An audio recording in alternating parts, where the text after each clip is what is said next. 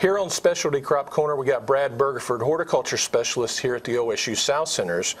Uh, Brad has been working on a new trial of strawberries out in the field that we can harvest at Thanksgiving and wintertime. But what we're going to do right now is talk a real quick minute about how it's how it all gets started, and we're talking a gutter system. So, Brad, tell us what a, what this gutter system is. Yes, correct. If you see the picture here, um, it is actually strawberries being grown in a gutter. However, the gutter is mainly just for um, removal of the excess um, nutrient solution that we actually feed these strawberry plants. They're growing in a soilless substrate mix that is encased in a plastic covering that has drainage holes in the bottom, and then we have holes that are spaced according to the plant spacing that we would want, the po plant population we would want for that size of a greenhouse. So then we would go ahead and take the plants, plant them into the, uh, the plastic substrate, the soilless substrate uh, mix that we have there that is sitting on top of the gutters.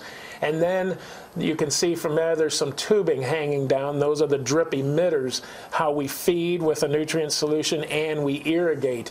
Um, since we're not relying on Mother Nature to water these with rainfall, we have to play Mother Nature through the use of drip irrigation. So then after we get these planted, we put the drip emitters uh, by each plant and then we start on a daily basis several times a day irrigating and fertigating. That's where we're actually injecting nutrient solution into the fertilizer or into the water, the irrigation water.